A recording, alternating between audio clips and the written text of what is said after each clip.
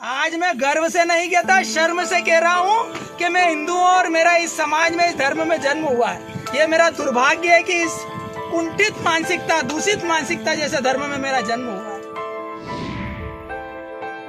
की व्यवस्था करी, टेंट से ये लगाए और आपातकालीन चद्दर लगाकर यहाँ पर जंगल में हम जो है दाह संस्कार कर रहे हैं। यह हमारी उपलब्धि नहीं है और यह समरसता का प्रतीक भी नहीं है। और यह हिंदू धर्म की शान भी नहीं है। यह धर्म के ऊपर धिक्कार किया है हमारे लोगों ने। यह धर्म धर्म को बेइज्जत किया है तो हमारे लोगों ने। हमारे कौन लोग? जो हमारे धर्म के ठेकेदार बनते हैं। और वे ठेकेदार जो अपने आप को कहते हैं कि हम गर्व से कहो हम हिंदू हैं। आज हमारे को शर्म महसूस हो रही है। मेरी समाज को मैं मुँह नहीं दिखा सकता कि मैं मेरे व्यक्ति की लाश को दाह संस्कार सम्मान पूर्वक नहीं करा पाया। बहुत दुखद है। अशोभनीय है किंतु चिंता का विषय है। वो दस रुपए की लोगों से हम किस प्रकार लड़ेंगे ऐसे लोगों के विचारों से कैसे लड़ेंगे हम?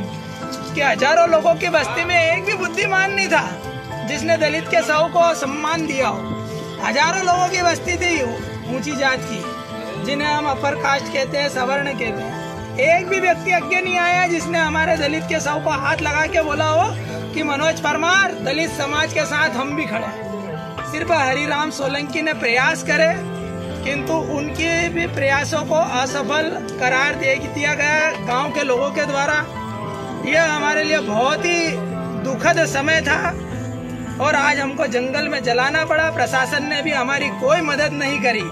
प्रशासन ने भी हमारे को जातिवाद के भागों में बांट दिया। और एक शमशान वहाँ पर है, जहाँ पर हम जलने के लिए ललायित थे, हमारे लोग, हमारे पूर्वज, और आज हमको जंगल में जलना पड़ रहा है। बहुत ही शर्म की बात है, बहुत ही धिक्कार की बात है, मेरे लिए भी और मेरी समाज के लिए भी। आज मैं गर्व से नहीं, शर्म से कहता हूँ कि मैं हिंदू हूँ। फिर से कह रहा हूँ मैं मीडिया के सामने। आज मैं गर्व से नहीं कहता, शर्म से कह रहा हूँ कि मैं हिंदू हूँ और मेरा इस समाज में, इस धर्म में जन्म हुआ है। ये मेरा दुर्भाग्य है कि इस कुंठित मानसिकता, दूषित मानसिकता जैसे धर्म में मेरा जन्म हुआ मेरे पास शब्द नहीं है, आलोचना के, निंदा के।